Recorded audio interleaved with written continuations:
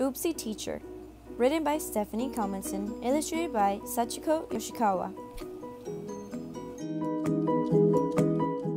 Our teacher, Mr. Bungles, is really very cool. He always, always, always tries to do his best at school. But even the best teachers can have an oopsie day. No matter how they try, sometimes things don't go their way. Just the other morning, getting out of bed, poor Mr. Bungles went and bumped his head.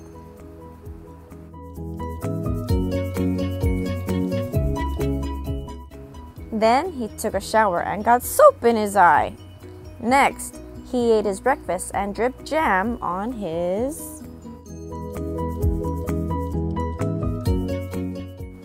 tie. At school, he took attendance and said, who is playing tricks? I just counted five of you. Now I'm seeing six. He went to clean out Nibbles' cage. He opened the door. He had to sneeze. And then, achoo! Nibbles jumped down to the floor. Mr. Bungles tried to catch him, running here, running there. Nibbles jumped from desk to desk, then onto Mr. Bungles' chair. In no time, Nibbles slipped away. We quickly followed him down the stairs, across the hall. He was heading for the gym. Hurry, children, hurry. We must get our hamster back. Look, he's over there. He is jogging round the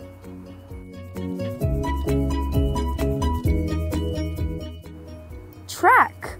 Poor Mr. Bungles didn't see the ball. Poor Mr. Bungles couldn't stop his fall.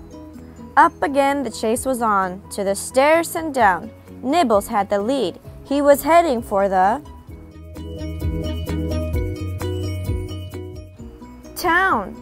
We saw him make his getaway. We gasped as he took flight. Our hamster sailed away on the tail of a kite. We lost him till we heard the yelps. A hamster's here, cried Tony. Nibbles was at his pizza place. He was nibbling pepperoni. Mr. Bungle sat down with a sigh. He said, Nibbles, you're a smarty. You ran us round till lunchtime. Kids, let's have a pizza. Party! Yes, that's our Mr. Bungles.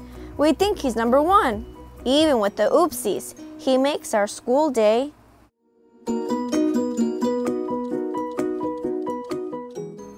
fun.